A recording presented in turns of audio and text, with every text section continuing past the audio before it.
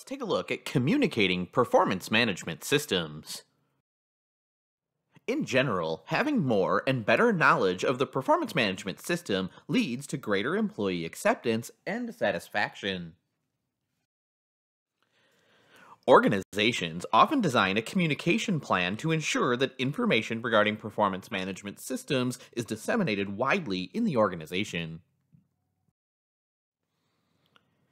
A good communication plan answers the following questions. What is performance management? Answering this question involves providing general information about performance management and the goals of the system. How does performance management fit into our strategy?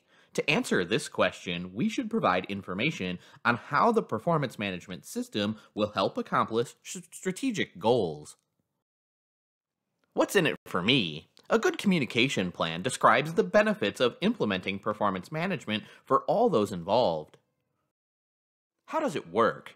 Answering this question entails explaining when meetings will take place, what the purposes of each meeting are, and when decisions about rewards will be made.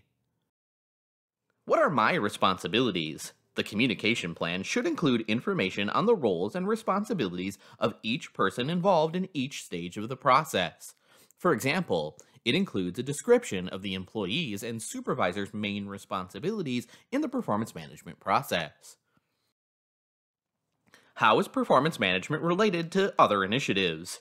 The communication plan should include the information on the relationship between performance management and other initiatives and systems such as training, promotion, and succession planning. Even if a communication plan answers most of the important questions, people have cognitive biases that can still impact acceptance.